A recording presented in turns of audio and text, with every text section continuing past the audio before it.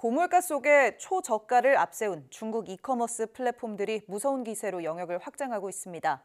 하지만 소비자 보호 의무는 소홀히 하고 있어 피해도 속출하고 있는데요. 정부가 종합 대책을 내놨습니다. 이승은 기자가 보도합니다.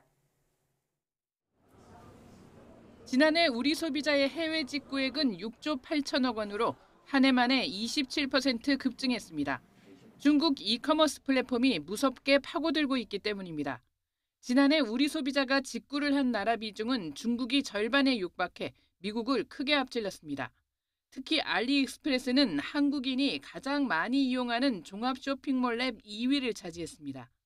하지만 반품과 환불이 잘 안 되는 것은 물론 가품과 성인용품, 위험한 제품도 마구 팔리고 있어 소비자 불만 신고가 1년 만에 5배 급증했습니다. 정부는 해외 이커머스 플랫폼에도 국내법을 차별 없이 집행하겠다고 강조했습니다. 소비자 보호 의무가 명시된 전자상거래법을 제대로 지키고 있는지 감시와 조사를 강화하고 국내 대리인 지정을 의무화합니다. 일정 규모 이상 해외 사업자에게 국내 대리인 지정을 의무화해 국내에 주소나 영업소가 없더라도 소비자 보호 의무를 충실히 이행하도록 하겠습니다. 빈바라는 소비자 불만 해소를 위해 한라인도 구축하고 자율협약도 추진합니다.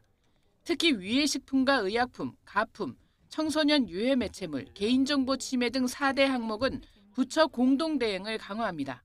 우리 제조업체의 해외 플랫폼 입점도 잇따르고 있는 가운데 공정거래법 위반 행위 감시도 강화합니다.